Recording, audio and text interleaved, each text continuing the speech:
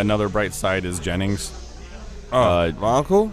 Jennings is batting 333. Uh, he has three doubles, five stolen bases, eight RBI. Uh, that is in nine games. His three doubles, by the way, are more doubles than Reed Brignac and Kelly Shoppach have had for the whole year.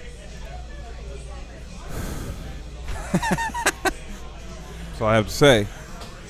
Uh, so bad. But so good because So bad. it's so good because guess what?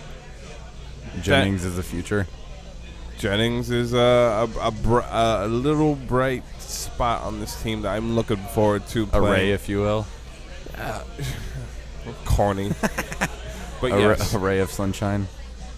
I mean, he could have. You know what? They should just change that starburst in center field to his face. And he's got wheels, That he does. and he plays a good left field. He's hitting for average.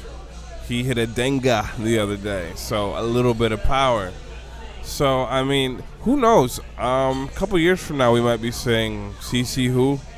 I'm not. I'm not, I'm not gonna put that evil on him quite yet, but I mean, So, CC is my homeboy, though. Oh yeah, CC my people too. But I'm just saying, I'm glad that there's hope that maybe Oh, yeah.